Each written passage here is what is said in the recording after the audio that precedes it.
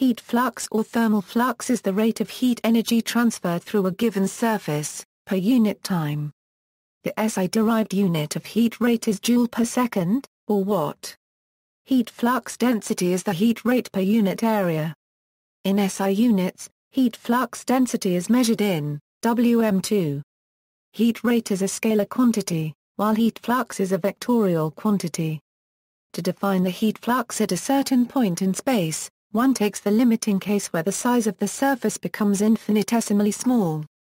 Heat flux is often denoted, the subscript q specifying heat rate, as opposed to mass or momentum rate. Fourier's law is an important application of these concepts. Heat flux along one dimension, the heat flux along a temperature gradient in x direction is given by with the thermal conductivity and the temperature. Measuring heat flux. The measurement of heat flux is most often done by measuring a temperature difference over a piece of material with known thermal conductivity. This method is analogous to a standard way to measure an electric current, where one measures the voltage drop over a known resistor.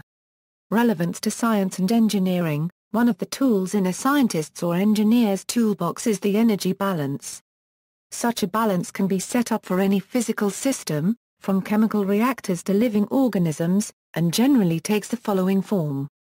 Where the three terms stand for the time rate of change of respectively the total amount of incoming energy, the total amount of outgoing energy and the total amount of accumulated energy. Now, if the only way the system exchanges energy with its surroundings is through heat transfer, the heat rate can be used to calculate the energy balance, since where we have integrated the heat flux density over the surface of the system.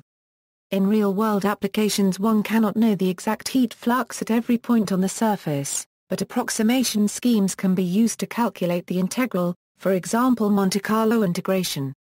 See also, radiant flux, eddy covariance flux, heat notation, heat conduction, heat transfer, critical heat flux, latent heat flux, rate of heat flow, insulation, heat flux sensor, relativistic heat conduction. References